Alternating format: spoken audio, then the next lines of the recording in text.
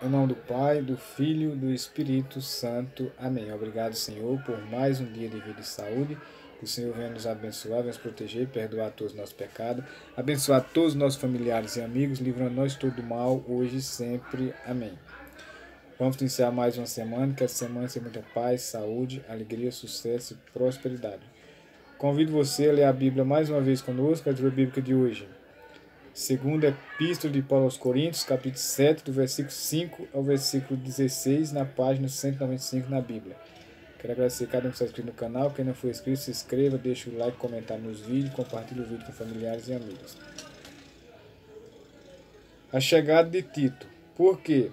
Chegando nós a Macedônia, nenhum alívio tivemos. Pelo contrário, em tudo fomos atribulados, lutas por fora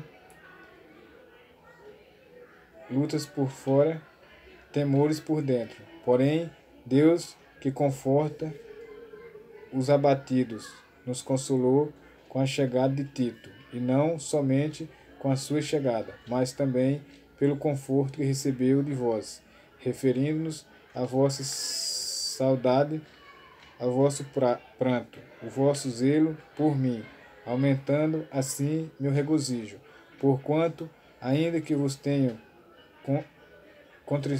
contristado com a carta, não me arrependo, embora já me tenha arrependido. Vejo que aquela carta os contristou por breve tempo. Agora me alegro, não porque fostes contristados, mas porque foste contristados, para, para arrependimento, pois foste contristados, segundo Deus, para que, de nossa parte, nenhum dano sofresses. Porque a tristeza, segundo Deus, produz arrependimento para a salvação, que a ninguém traz pesar, mas a tristeza do mundo produz morte.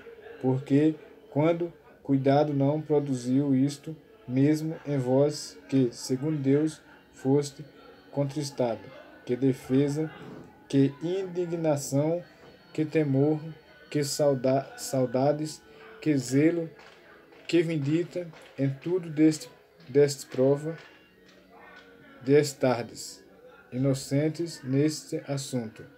Portanto, embora vos tenha escrito, não foi por causa do que fez mal, nem por causa do que sofreu o agravo, mas para que a vossa solicitude a nosso favor fosse manifesto entre vós diante de Deus. Foi por isso que nos sentimos confortados e, acima desta nossa consolação, muito mais nos alegramos pelo contentamento de Tito, cujo espírito foi re, recreado por todos vós, porque se em alguma coisa me gloriei de vós para com ele, não fiquei envergonhado pelo contrário, como em tudo vos falamos com verdade, também a nossa exaltação na presença de Tito se verificou ser verdadeira, e o seu estranhável afeto cresce